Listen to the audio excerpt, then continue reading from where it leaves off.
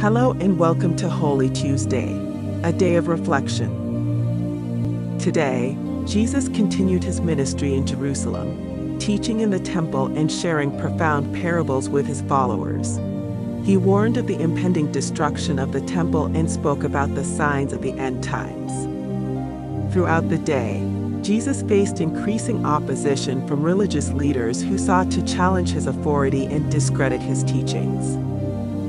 Despite the mounting pressure, Jesus remained steadfast in his mission, imparting wisdom and guidance to his disciples.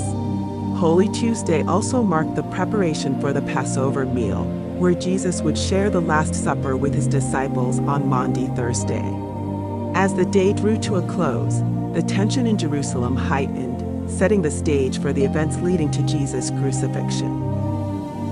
Holy Tuesday reminds us of the depth of Christ's love and the purpose of his journey toward the cross. Join us as we follow Jesus on this sacred path, embracing the hope and redemption found this Holy Week. Come back tomorrow for the events of Holy Wednesday.